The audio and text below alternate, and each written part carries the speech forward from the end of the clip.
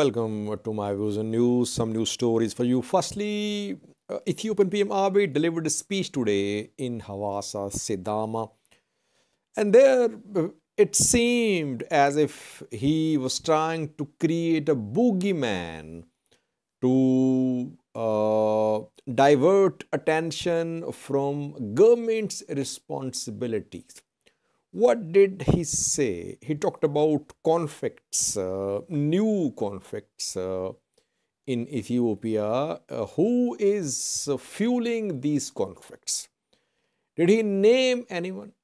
Is he trying to create an imaginary evil character which is behind all the wrongdoings happening in Ethiopia? Secondly, uh, we have a new story from Shireviords where reportedly electricity has been restored. Why is that? Uh, uh, Tigray regional government is not reporting much about resumption of uh, some basic services in some parts of Tigray. Uh, thirdly, Amhara region of Ethiopia where a counter protest was held today. In the previous video, I spoke about uh, the protest held in Dabra Reportedly, security forces tried to disperse the protesters and some were injured too. And lastly, Eritrea, where Abune Qerlos, uh, fifth patriarch's uh, funeral ceremony was held. Isaias Afwerki was there to attend the ceremony. Before these four news stories, one update for you.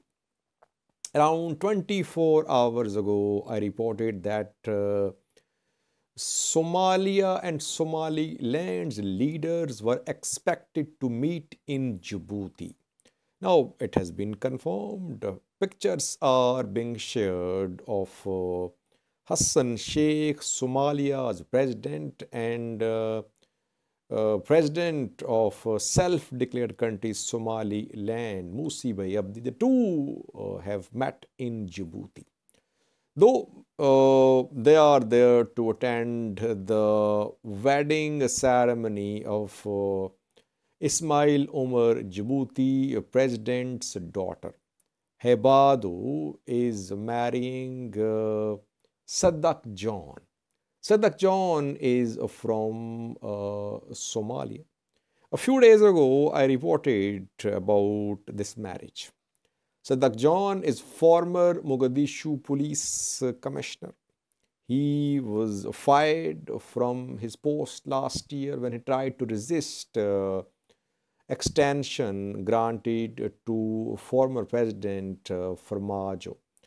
Uh, and uh, later he contested uh, election as an MP. Now he is a member of parliament. He is from an influential uh, tribe in Somalia. So Sadak John is marrying Ismail Omar's uh, daughter, uh, Djibouti president's daughter. The two presidents, Somaliland and Somalia, they are in Djibouti to attend this wedding ceremony there the two met. Uh, we cannot say that formally talks have uh, resumed between uh, Somaliland and Somalia, but it seems that it could be start of uh, direct engagement between Somalia and Somaliland. Somalia says that Somaliland is part of Somalia. Somaliland uh, claims to be an independent country. So talks could start, uh, formal talks. Uh, now there's some news stories for you. First one is uh, from Ethiopia, which is about PM Abiy, who delivered a speech today in Sidama state where a large gathering was organized uh, to celebrate Nationalities Day which Ethiopia celebrates. Uh, so today was 17th celebration of Nationalities Day held in Sidama. Uh, Hawassa, Sidama's capital, was the venue of uh, today's celebrations. Thursday celebrations. There, PM Abiy uh, spoke about uh, new conflicts in Ethiopia. He said, don't listen to those who keep creating new agendas to destroy Ethiopia. They couldn't let the country have a full month of peace. It is important to identify the creators and disseminators of this agenda. He's basically saying that uh, after a peace agreement signed between TPLF and Ethiopian federal government, new conflicts are being created to destabilize Ethiopia. And there are some uh, elements which want to destabilize Ethiopia, and people should identify and uh, they should uh, they should be aware of who are these elements. Now, what is he talking about? Who is he referring to? In the last two years or so, whatever bad happened in Ethiopia was blamed on TPLF. Now, uh, TPLF was the easy target for the government. It was a way of uh, covering up government's responsibilities, government's failures too. Now, TPLF uh, has signed a peace agreement. Uh, is now not the uh, easily available target. So another boogeyman is being created by Ethiopian federal government, Ethiopian PM Abiy. There are some elements, uh, some players which want to create instability, which want to destroy Ethiopia. Who are these uh, elements? Is he talking about armed factions like Oromo Liberation Army, FANO? Is he pointing his finger towards Amhara political elite? Is he talking about Oromo opposition parties? Is he talking about uh, TPLF, Egypt? No. He is not naming anyone in particular. He's leaving this gray area for people to make their own conclusions. Why? Because he wants to cover up government's failure. That is how I understood his today's speech, which he made in Hawassa, Sidama. If there are some elements creating instability, he should name them. Who is destroying Ethiopia now when uh, peace agreement has been signed? Are these uh, forces more powerful than the government? Or is he just creating a boogeyman to cover up government's failure? That is what he seems to be doing. People should ask questions. If there are forces uh, creating instability in Ethiopia, where are they? Who are they? Uh, and who are they being supported by? Government should take the responsibility of what is happening in Oromia, in Amhara, in the parts of Ethiopia. If civilians are dying, you cannot blame some unknown hidden group for this uh, for these killings. Hundreds are dying. Who is responsible? Government will have to pinpoint the exact uh, uh, perpetrator who is behind this violence in different parts of Ethiopia. Uh, Secondly, viewers, Shire reportedly electricity has been restored in Shire city. Shire is still under ENDF control, EDF2 maybe, though EDF was withdrawing. Uh, but ENDF is there in Shire. And according to Moges Mekonnen, who is uh, uh, an official of Ethiopian Electric Power Authority, Shire uh, has electricity restored. Uh, so either in parts of Shire or in whole uh, city of Shire, electricity is being restored. Uh, Tigray official sources are not reporting much about resumption of basic services in Tigray, which is happening. In some parts of Mekelle, river electricity was restored. In some parts of Aksum too, where reportedly mobile service was resumed, uh, it was restored, and now in Shire.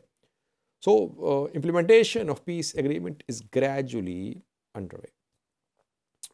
Thirdly, viewers, Amhara region of Ethiopia, where counter protests started today. The last three days, we have been seeing demonstrations in Oromia region, across Oromia.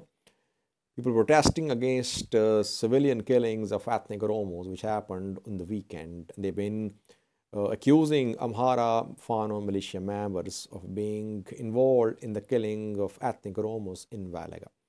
Now, counter demonstrations are starting in the Amhara region of Ethiopia, where today at Magdala University, students protested, Amhara students, and in Debre Markos, Gojjam, people took to the streets demanding the release of uh, a Fano commander who was arrested a few weeks ago.